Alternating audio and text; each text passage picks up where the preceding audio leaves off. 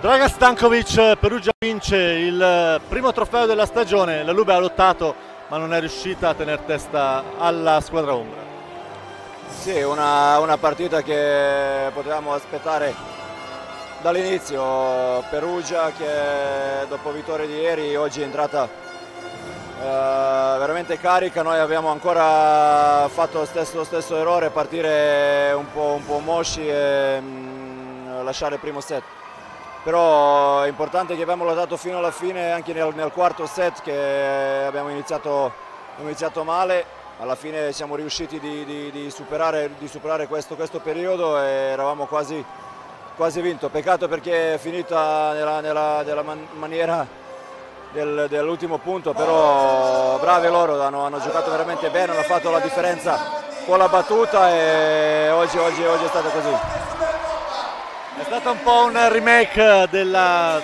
gara di Champions, Perugia è parsa più motivata, più grintosa nelle, nelle fasi decisive delle partite.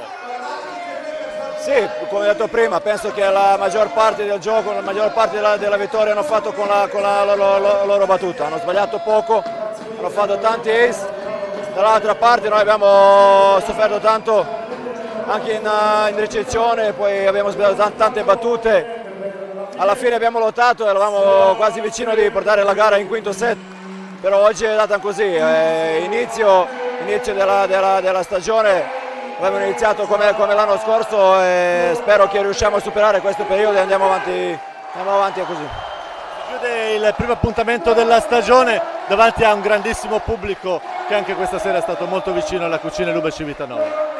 Sì, come siamo abituati del, delle, delle stagioni, stagioni, scorse, eh, sempre un ambiente carico, i, i, tifosi, la gente che viene a sostenerci stato, è stato anche, anche, oggi. Grazie a loro e vi aspetto anche in, in, in futuro.